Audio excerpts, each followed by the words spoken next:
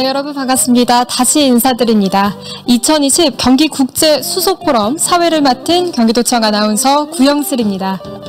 그럼 이어서 소통하는 수소 경제라는 주제 아래 네 번째 세션의 문을 열어보도록 하겠습니다.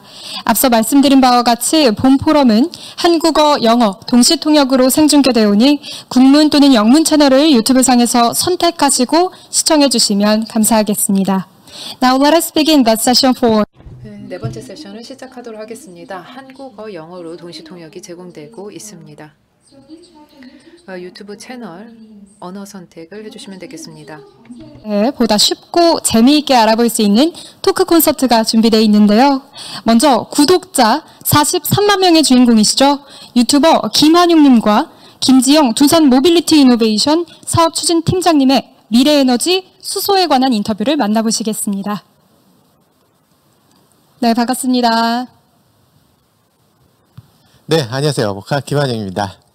네, 안녕하세요. 두산 모빌리티 이노베이션 김지영 부장입니다. 아, 반갑습니다. 팀장님, 제가 오늘 질문 몇 가지 드릴 텐데요. 어, 먼저 팀장님 하면 제가 알고 있는 게 두산 모빌리티 이노베이션에서 이제 드론 사업을 진행하고 계시잖아요. 어떤 드론인지 설명 좀 부탁드릴게요. 네, 현재 산업계에서 드론이 많이 사용되고 있는데요. 아, 드론은 하늘을 나는 컴퓨터라고 불립니다.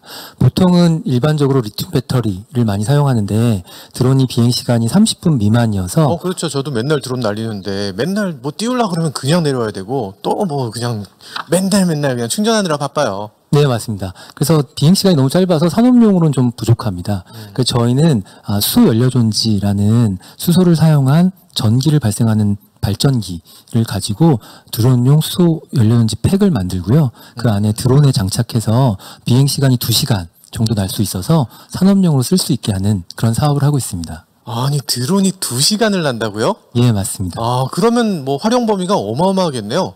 예, 실제 산업계에서 굉장히 긴 파이프라인 혹은 섬간 뭔가 물건을 배송한다거나 또 어, 산림 안에서 어, 사람이 실종됐을 때 찾는다거나라는 걸 할수 있고요. 또 특히 예를 들면 실종자가 사람 을 찾았더라도 두 시간 동안 실제 구조대가 가기까지 어, 화면을 비춰주면서 마음을 안정시키는 등 두 시간 비행의 이점을 최대한 활용할 수 있습니다. 아, 그렇군요. 뭐 간혹 가다가 이제 고속도로 같은 데서 무슨 카메라 같은 게 떠 있기도 하고 뭐 전용 차선 위반도 당하면 뭐 이게 굉장히 좀 그렇기도 한데 어쨌든 그런 식으로도 활용할 수가 있는 건가요? 예, 저희가 보통 출퇴근 시간이 오전에 2시간, 오후에 2시간이 가장 막히고 위험한데요.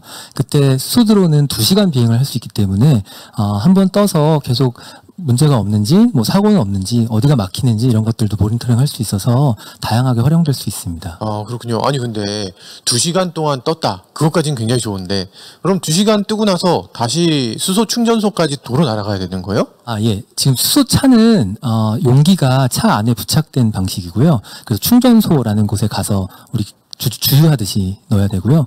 저희는 이제 드론이 산과 들, 뭐 섬 이렇게 다녀야 되니까 충전소를 모든 곳에 지을 수는 없어서 용기를 교체하는 방식입니다. 아, 드론 용기를 교체. 아, 그거 굉장히 멋지네요. 그럼 바로 두 시간 날고 용기를 교체한 다음에 바로 또 띄울 수 있는 거군요. 네, 맞습니다. 그래서 어, 아무나 좀 쉽게 교체할 수 있게 저희가 원터치 방식으로 교체하고 안전하게 쓸 수 있도록 개발을 했습니다. 아, 그렇군요. 아, 정말 기대가 됩니다. 이거 시판도 되는 건가요?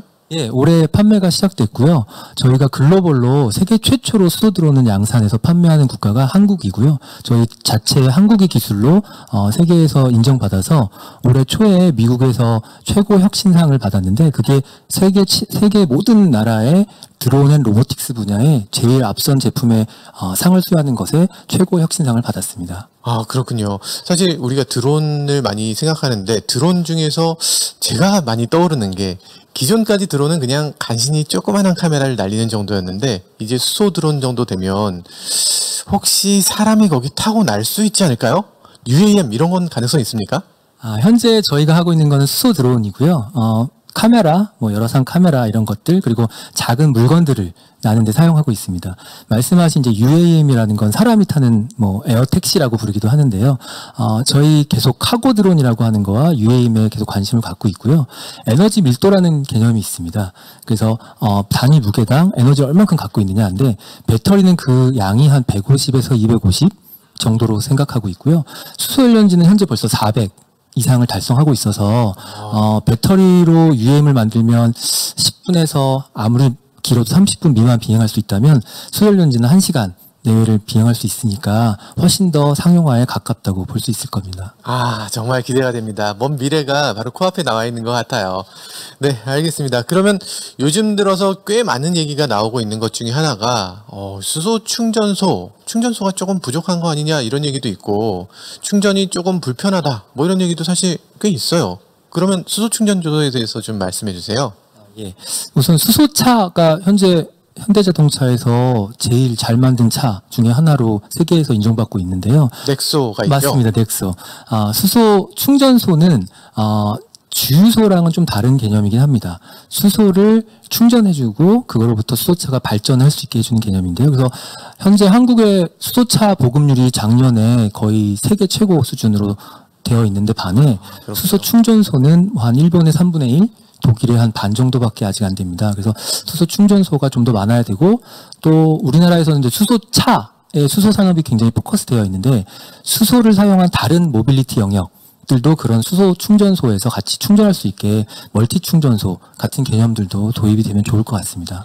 아, 그렇군요. 수소 충전소 하면은 사람들이 굉장히 걱정했던 것들이 있어요. 예를 들면 예전에 초창기에 겨울이 되면은 수소 충전이 잘 안 된다거나 그래서 뭐 헤어 드라이어를 갖고 와서 뭐 녹여서 충전해야 된다는 경우도 있었고요. 그리고 뭐 줄을 길게 서야 된다 뭐 이런 얘기도 있었는데 그런 걱정은 없나요? 예, 이 수소 산업이 굉장히 많이 발전되고 있고요. 최근에 역시 환경 관련된 문제 통해서 더 산업이 많이 발전되는 것 같습니다. 그래서 지금은 많은 그런 부품들 그리고 충전 방식들이 개선이 돼서요. 어, 수소차 충전소라는 곳에는 우리 주유하듯이 수소차를 딱 대면 어, 5분 안에 충전을 하고 아. 빠져나가고 다음 차가 와서 충전하고 또 빠져나갈 수 있게 저희 주유건이 굉장히 좀 편해진 것처럼 그렇게 이미 발전되어 있습니다. 걱정 안 하셔도 됩니다. 그렇군요. 일단 이 수소에 관련해서는 지금 기술 개발이 엄청나게 빠르니까 지금 제가 알고 있었던 그것도 아마 한 1년 전, 6개월 전에 그런 사실이라서 이미 그건 다 해소가 됐고 많은 사람들이 수소차를 문제없이 사용하고 있다. 이렇게 받아들여도 되는 건가요? 예, 수소차 기술들은 계속 발전하고 있고요. 또 수소 산업의 수소 관련된 부품들도 많이 발전되고 있는데 그에 비해 충전소가 부족해서 현재 많이 보급이 안 됐다. 이렇게 이해하시면 되고 기술적으로 사용하셔서 사용하는 데는 큰 문제 없을 겁니다. 아, 그렇군요. 우리나라 수소차가 굉장히 많이 발전했다고 아까 세계 최고 수준이라고 말씀하셨는데 그럼 수소차에 특장점이 있다거나 뭐 이런 것도 있을까요? 어, 제가 수소차를 만들진 않지만 수소 드론이 수소차와 같은 연료 정지의 방식입니다. 그래서 펜 방식이라고 부르는데요. 어, 수소 기체 수소를 받아서 공기 중에 있는 산소와 결합시켜서 발전을 해서 전류를 만드는 방식이고 전기를 만드는 방식이고요. 장점이라고 하면 우선은 청정한 에너지원이다라는 것이 있겠고 또 저희가 배터리 전기차하고 많이 비교하는데요. 전기차가 이제 충전하는 시간이 조금 오래 걸리고 또 거리가 좀 짧습니다. 운행 거리가. 그런데 저희가 디젤 차보다는 깨끗한 에너지원이면서 어, 600km 정도로 장거리를 갈 수 있어서 한 번 충전에 600km요? 네, 맞습니다. 그래서 저희가 좀 트럭, 버스 이런 쪽에서도 더 많은 장점을 갖고 있다고 볼 수 있습니다. 아, 트럭 버스. 아, 그 말씀 듣고 나니까 얼마 전에 미국에서도 한 트럭 회사가 예, N모 회사에서 뭐 이런 그 수소 트럭을 가지고서 굉장한 세간의 이목을 집중시켰는데요. 사실 기술력은 우리나라 회사가 더 많이 갖고 있다는 얘기가 있어요. 그거 실용화도 고- 금방 될 수 있는 부분인가요?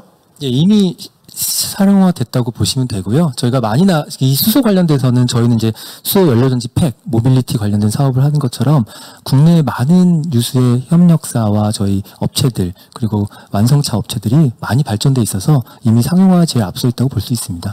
그렇군요. 아, 갑자기 가슴이 뿌듯해지고 자랑스러워집니다.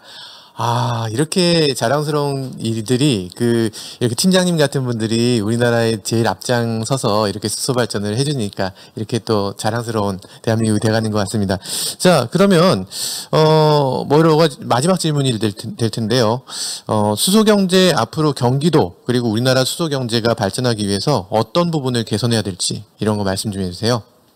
어, 우선은 현재 수소 산업 관련된 육성 관련해서 유럽, 뭐 독일, 프랑스 많이 앞서 있다는 발표를 하고 있지만요. 아, 우리나라가 더 앞서 있다. 네, 저희도 굉장히 앞서서 그런 산업 육성책을 지금 정부에서 많이 하고 계십니다. 저희 대부분이 어, 이미 국민의 인식이 수소차, 예, 수소 산업은 다 근데 포커스 되어 있다는 게 조금 아쉬운 것 같고요. 수소차 외에도 많은 모빌리티 영역에서 수소 가 사용될 수 있고 또 하나는 수소를 공급하는 방식에서 그린 수소라는 개념이 있습니다. 그 선진국은 그린 수소를 만들어서 그 수소를 사용할 수 있게 하는 방법에 그 대한 더 설명해 주세요. 네, 많은 투자를 하고 있거든요. 그래서 어, 유럽의 같은 경우는 한 20기가에서 40 기가와트까지의 그린 수소.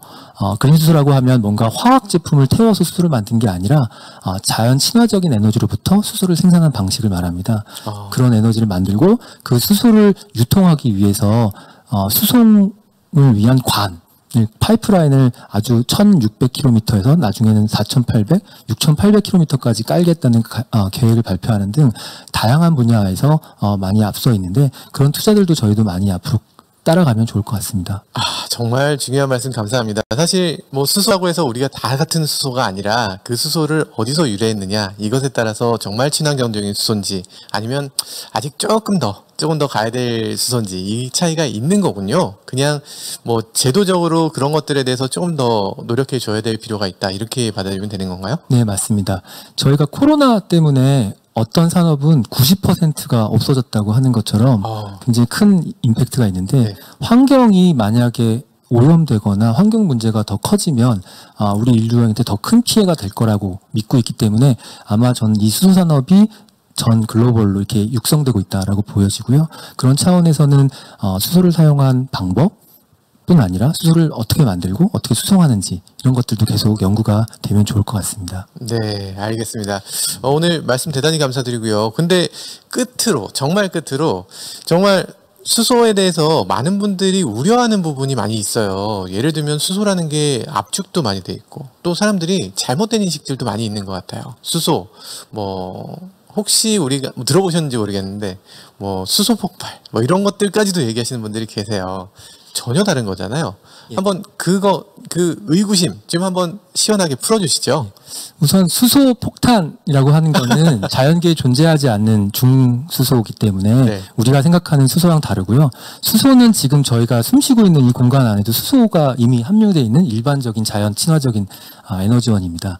그리고 수소 산업이 굉장히 많이 발전돼 있어서 수소를 보관하고 저장하는 부분에 아, 수소 용기라고 부르는 부분은 굉장히 많은 가혹한 시험과 안전 시험 규정이 다 있어서 그 인증을 통과하는 수소 용기들을 사용하면 안전에 전혀 문제가 없습니다. 또한 수소는 휘발성이 가장 강하기 때문에 아 뭔가 어 폭- 그러니까 터지게 되면 바로 휘- 공기 중으로 날아가기 때문에 어, 가솔린이나 배터리처럼 불이 붙어서 어, 폭발하는 사고는 없기 때문에 굉장히 안전합니다. 아. 예를 들어서 저희 수소 드론에 사용되는 용기는 아 불에 용기를 넣어서 충전한 수소를 압축한 수소를 넣은 상태로 불에 넣어서 어 폭발하지 않는지를 보기도 하고요. 아 그래요? 네, 아니 또불 속에다 집어넣는다고요? 포- 폭발하지 아. 않고 수소가 하늘로 쑥 날아가 버리고요. 또 충전된 수소 용기를 건 총으로 sniper가 탁 쏴서 폭발하지 않는지도 보는데 전혀 폭발하지 않는 이런 안전성 테스트를 다 거쳤기 때문에 그런 인증을 받은 용기를 사용하면 저희 전혀 문제가 없습니다. 총을 진짜 쏴본다고요? 예, 직접 야, 그거 쏴서 유튜브 각인데 예. 유튜브에 올리시면 대박 네, 나겠는데요? 저희 유튜브에 그런 용기 테스트라든지 저희 수소 드론 관련된 실험들이 다 올라와 있으니까 또 봐주셔도 좋을 것 같습니다. 알겠습니다. 구독과 좋아요 꼭 하겠습니다. 감사합니다. 감사합니다. 네, 팀장님 오늘 나와주셔서 대단히 감사합니다. 네, 감사합니다. 네, 이렇게 두 분 인터뷰 함께 하고 나니 수소 에너지가 한결 우리에게 더 가까워졌다는 생각이 듭니다. 자, 그럼 본격적으로 네 번째 세션 토크 콘서트 2부 이어가도록 하겠습니다. 이번 토크 콘서트에선 우리가 나아가야 할 수소 경제 방향성에 대해 생각해보는 시간을 가져볼 텐데요. 먼저 네 번째 세션에 함께 해 주실 연사분들을 소개해 올리겠습니다. 좌장을 맡으실 강철구 경기연구원 선임연구위원님 나와주셨습니다. 네, 반갑습니다. 강철구입니다. 패널에 김지영 두산 모빌리티 이노베이션 사업추진팀장님 참석해 주셨습니다. 네, 반갑습니다. 김지영입니다. 네, 유튜버 김한용의 모카 편집장님 함께 해주셨습니다. 네, 안녕하세요. 모카 김한용입니다. 수소전기차 넥소 커뮤니티 회장 정은재님 자리해 주셨습니다. 예, 안녕하세요. 정은재입니다. 네, 마지막으로 제1기 수소경제 서포터즈로 활동하고 있는 김민주, 김지원, 신예주, 그리고 안세은 님이 학생 대표로 나와주셨습니다. 네, 감사합니다. 이번 토크 콘서트 2부는 실시간 온라인 청중단 분들도 함께 해주시고 계십니다. 자, 그럼 네 번째 세션 토크 콘서트 2부의 저장이신 강철구 경기연구원 선임연구위원님께서 토크 콘서트를 이끌어가 주시겠습니다. 선임연구위원님 부탁드립니다. 네, 반갑습니다. 어, 오늘 이제 주제는 어, 수소, 수소 에너지에 관한 것이 되겠습니다. 어, 오늘날 이제 수소 에너지에 대한 어, 여러 그 사회라든가 경제계 일반 국민들도 세계적으로 이렇게 관심이 많습니다. 그 못해는 아무래도 여러분들이 그 잘 알고 계시듯이 대기 오염, 온실가스, 그죠? 기후 위기, 예, 그런 어떤 창궐, 그 다음에 우리나라는 특히 미세먼지가 심각하지 않습니까? 그런 연유에서 어, 대체 에너지가 아, 뭐가 있을까? 이래서 출발한 것이 물론 태양광 풍력이 있습니다만은 어, 그것이 산업화 쉽게 연결될 수 있고 어, 동력 신선형 동력 산업으로 연결될 수 있는 그런 분야가 수소, 수소 에너지, 수소 경제지 않습니까? 그래서 어, 현 정부 문재인 대통령도 어, 사흘이 멀다 하고 아시듯이 수소 찬양을 하고 계십니다. 수소차, 수소 충전소, 어, 수소를 기반으로 하는 어떤 선도 경제 주도, 그린, 에- 그린 이제 뉴딜 이렇게도 나왔지 않습니까? 그래서 경기도도 이제, 에, 보면 제가 이제 몸담고 있는 게 경기도 정부인데, 에, 경기도가 아시듯이 어, 대한민국 경제의 3분의 1을 차지하고 있습니다. 인구도 가장 많습니다. 경제의 중심지거든요.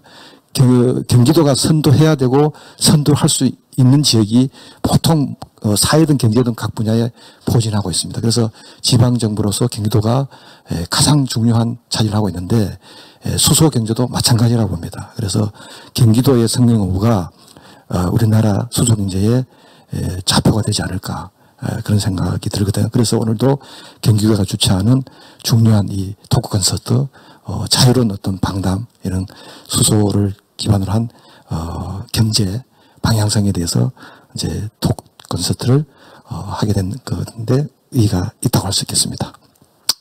오늘 이제 그 유튜브 시청자분들도 계시겠지만 실시간으로 어 아까 어 진행자도 말씀하셨듯이 에, 전문가 내지는 또 아직까지 대학생으로서 이제 배움의 단계에 있는 몇 분 이렇게 서포터즈 에, 참석해 주셨습니다. 패널로 그래서 어 질문하고 답변하는 그런 시간을 이제 에, 갖도록 하겠습니다.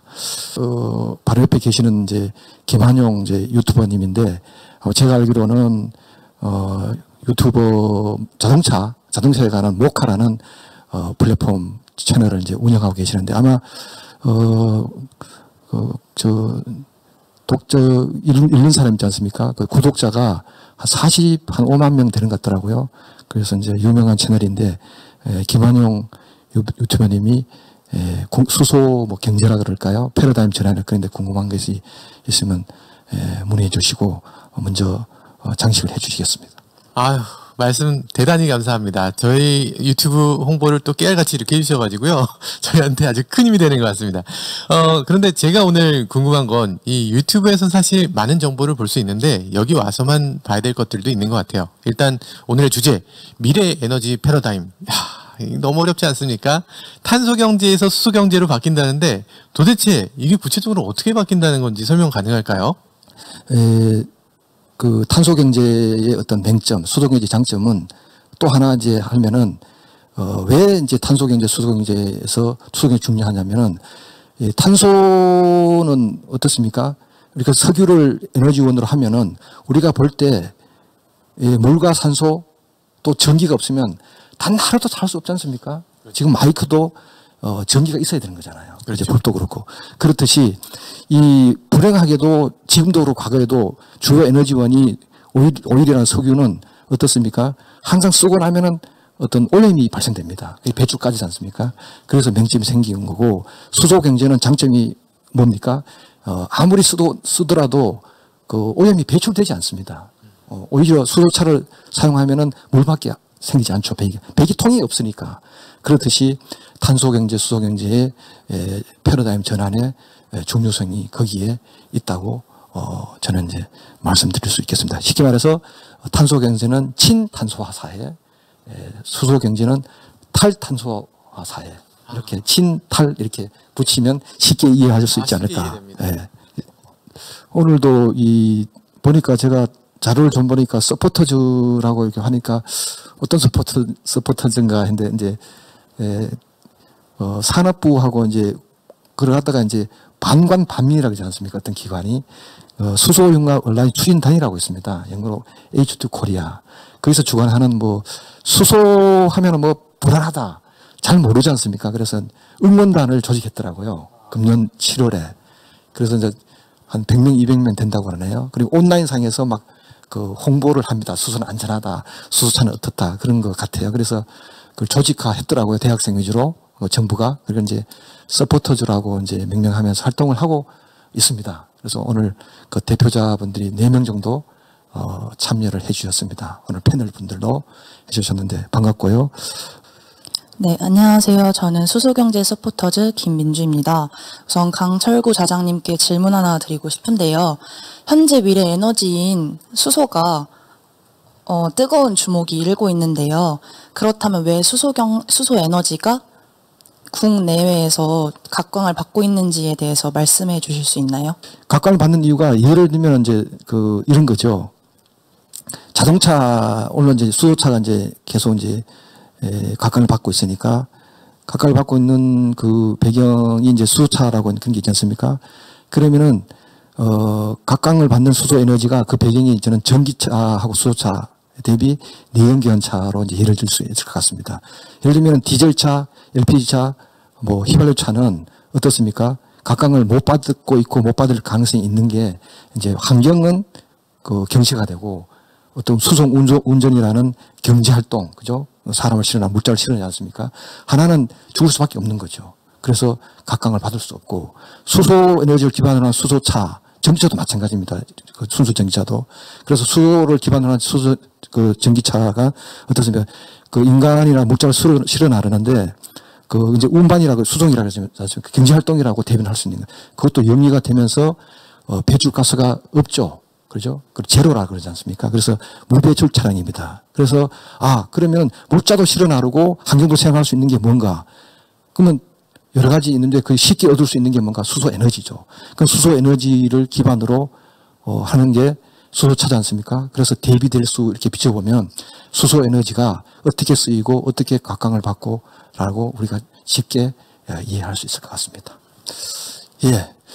일부 자담에서 어, 두산 그 드론 개발 수소 연료 전지 드론 개발을 담당하고 계시는 김지영 부장님과 이게 좌담회가 있었던 걸로 알고 있습니다. 그래서 또 좌담회에서 못한 얘기 그리고 궁금한 사항도 패널 분들이 있을 것 같습니다. 그게 수- 연료전지 드론이든 뭐 수소 에너지든 그죠 수소 경제에 대해서 그 궁금한 사항이 있으면 추가로 이 기회에 우리 김 팀장님한테 질문해 주시고 또 논의가 있었으면 좋겠습니다. 네, 안녕하세요. 수소경제 서포터즈 김지원입니다. 저 김지영 팀장님께 질문 하나 드리고 싶은데요. 아까 팀장님께서 해주신 말씀 잘 들었습니다. 어, 수소 드론처럼 수소 에너지를 실제로 활용한 기술이나 산업 및 경제 분야에는 어떤 것이 있는지, 그리고 또 특별히 두산에서 계획하고 있는 분야가 있는지 궁금합니다. 네. 수소 관련된 산업은 크게 세 가지로 구분할 수 있을 것 같고요.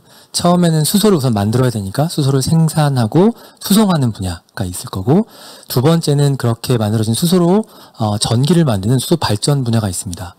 발전 분야는 어, 두산이 현재 세계적으로 앞서가지고 한국이 제일 앞서 있는 분야인데요. PAFC라는 발전용 어, 수소 연료전지가 있고요. 가정용의 PEMFC라고 있어서 두산 퓨얼셀, 두산 퓨얼셀 파워에서 가장 앞서 있습니다. 그리고 마지막 세 번째로는 모빌리티 분야가 있습니다. 잘 아시는 수소 드론 그리고 수소차와 같은 분야고요. 버스, 트럭, 오토바이, 자전거 등에서 수소를 연료로 해서 발전을 해서 사용할 수 있습니다. 그리고 마지막으로 현재 한국에서 추진하고 있는 UAM 이라고 해서 도시를 날아다니는 에어택시와 같은 개념인데요.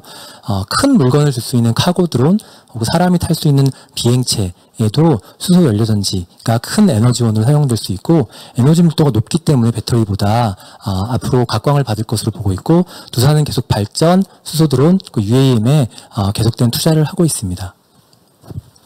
답변해 주셔서 감사합니다.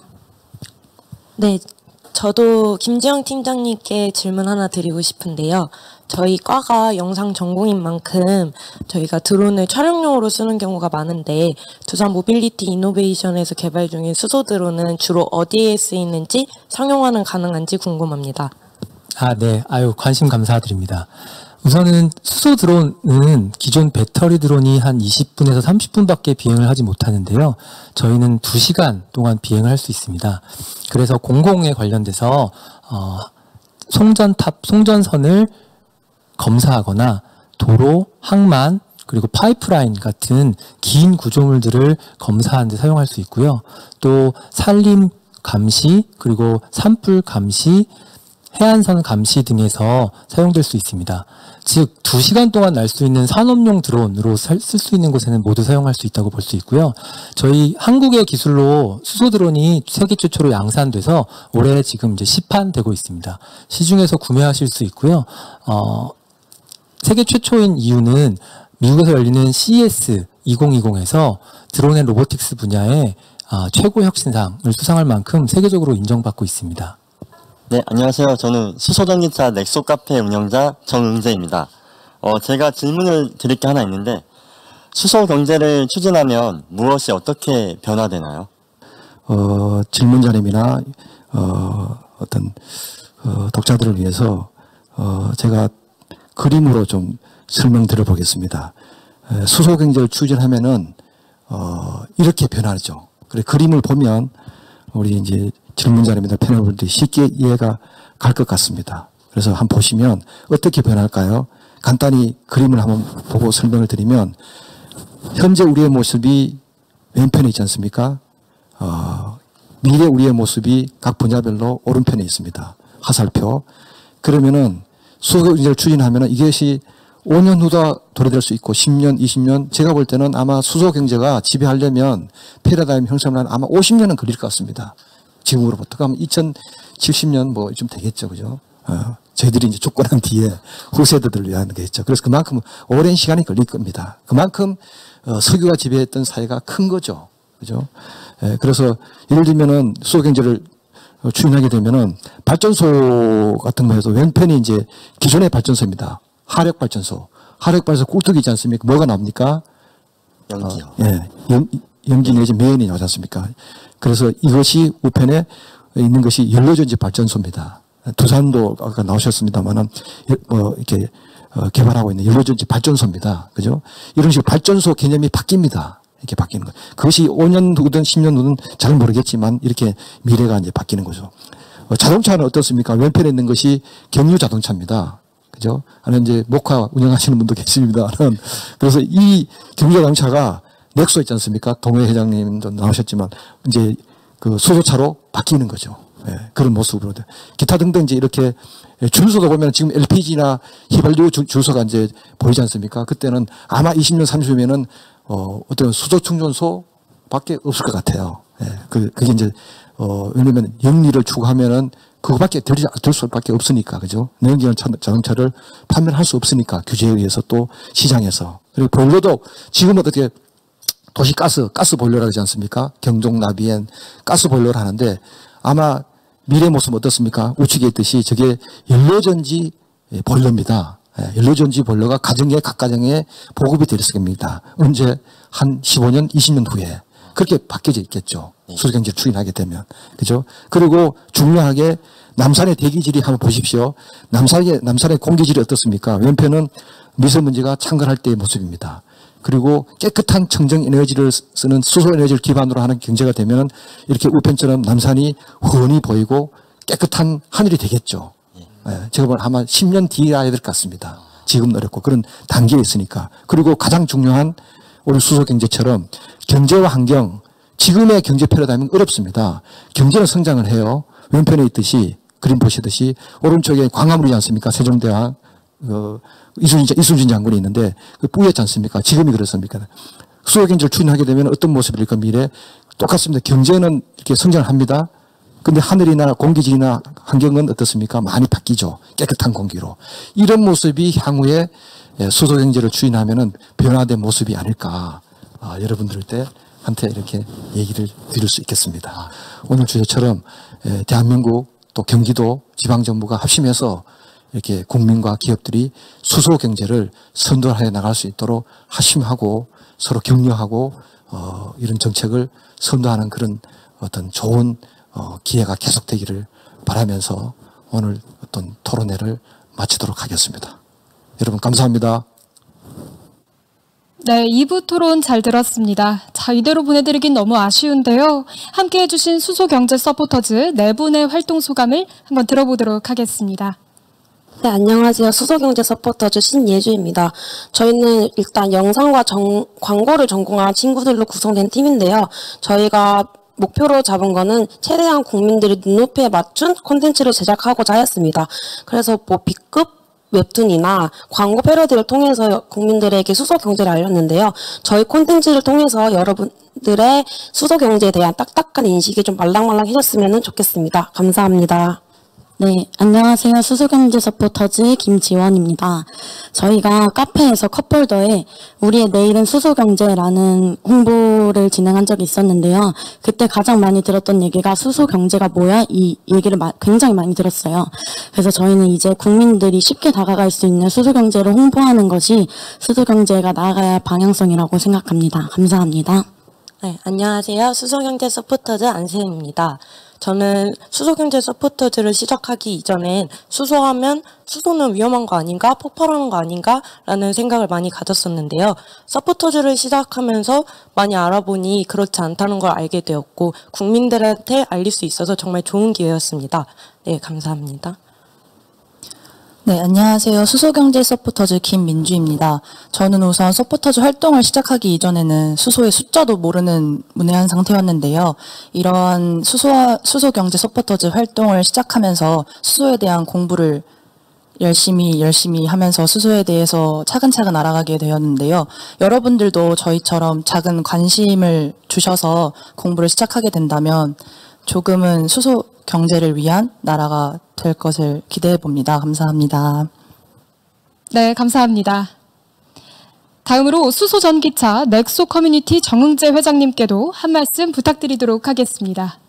야, 안녕하세요. 저는 수소 전기차 넥소 카페 운영자 정문재입니다. 지금 수소, 수소 전기차를 저는 2018년부터 구입해가지고 지금 10만 킬로 가까이 타고 있는데요.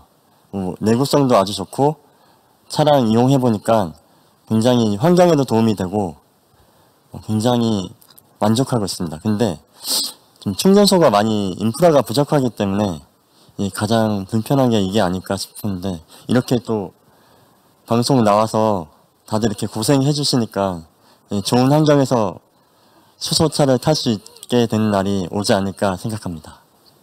네, 감사합니다. 이렇게 1부와 2부로 나눠서 토크 콘서트를 진행해 봤는데요. 수소 전문가가 아닌 민간인 입장에서도 궁금했던 부분들에 대해서 쉽게 이해해 볼 수 있는 시간이 되었던 것 같습니다. 오늘 함께 해주신 패널 분들께 감사드리며 네 번째 세션 토크 콘서트를 마치도록 하겠습니다. 감사합니다. The session 4 has ended. We will be 4세션을 완료하도록 하겠습니다. 특별 세션 이제 곧 진행하겠습니다. 감사합니다.